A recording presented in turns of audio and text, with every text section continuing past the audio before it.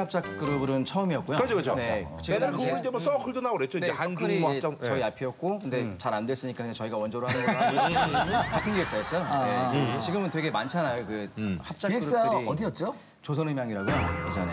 정말 되게 오래돼. 약간 북한 되게 오래돼.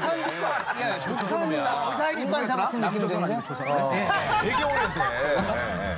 공항에 이제 팬들이 온 거예요. 저희 출입국을 알기 때문에 그래서 그때 한 천 명 정도가 이제 모여가지고 공항에 좀 마비될 때가 있었거든요. 아무튼 그 공항 마중 문화가 저희 때가 처음이었어요. 공항 마중. 그런 걸로 공항에 팬들이 대규모 있는 예, 대규모 팬들. 예.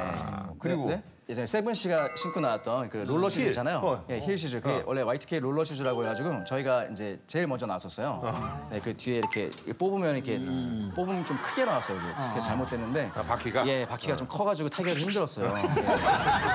아, 이제 제품이 좀 문제가 안으로 있었구나. 살짝 들어가면서 이제 세븐 씨가 타가지고 이제 춤이랑 접목해가지고 잘. 원조가 뭔데? 뭐를 어, 저기 작가들이 물어보지 않았는데 얘기를 했다고. 이런 거 저기 남들이 저 몰라줘 그러면 속상해요? 많이 속상해요. 제가 먼저 얘기해요. 이거 좀 알아주십사. 자, Y2K 그 메인 보컬 그때도 뭐 노래 부심 하나로 뭐 팬들에게 어필하지 않고 노래만 묵묵히 불렀다고 들었거든요. 그러니까 어차피 제가 음, 노래는 제가 다 했는데 인기는 근데 조금. 얘 인기는 걔네가 가지고 갔어요. 그래서 얘는 진짜 이쁘게 생겼어. 얘가 약간 러시아계 혼혈이에요, 얘네가. 그래서 얼굴형이 완전 계란형이에요. 어. 그래서 그냥 니네는 그냥 비주얼 해라. 난 노래나 하겠다. 그래서 이제 했는데 그게 나중에 이제 비수가 돼서 돌아오더라고요. 어떤 미수가?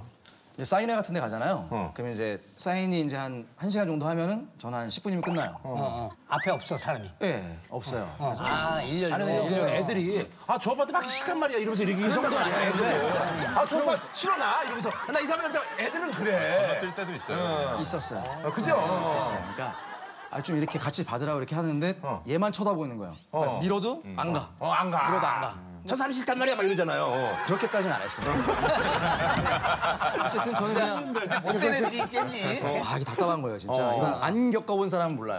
이게 제가 그렇게 못났다고 생각해 본 적도 없고 내가 얘네보다 노래 잘하고 남들보다 노래 잘한다고 생각했는데 해보니까 얘네는 일본 애들인데 저보다 인기도 많이 생겼고 그러다 보니까 제가 너무 힘들어가지고 알 수가 없어졌어요 그때 당시에. 네, 말을 안 했어요. 아, 힘들죠. 네, 그 요즘은 거기 아이돌 좀 봐도 제일 잘생긴 친구가 인기 있지 않더라고요. 네 재밌는 제, 친구들이 아, 진짜 재밌거나 많죠. 이런 개성이 아니면 있고. 곡을 쓴다거나 네, 이런 친구가 많이 인기. 있고 네. 그땐 그랬어요.